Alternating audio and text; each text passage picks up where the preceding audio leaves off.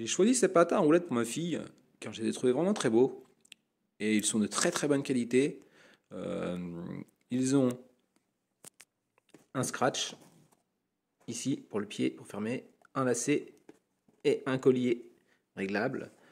Euh, le châssis que l'on voit ici est en alliage d'aluminium. Il n'est pas en plastique, donc c'est vraiment de la bonne qualité. Vous avez un frein sur un seul patin. Euh, le pied, comme on peut le voir ici, il y a un bouton.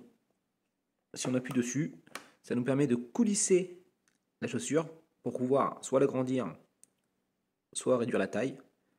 Et franchement, la qualité est bien finie. On voit que c'est un bon produit, durable.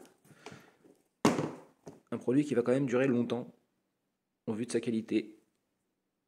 C'est pour ça que le prix peut paraître un peu élevé, mais vu qu'il va pouvoir durer dans le temps et évoluer en fonction du pied de l'enfant, je trouve ça très bien, un très bon produit.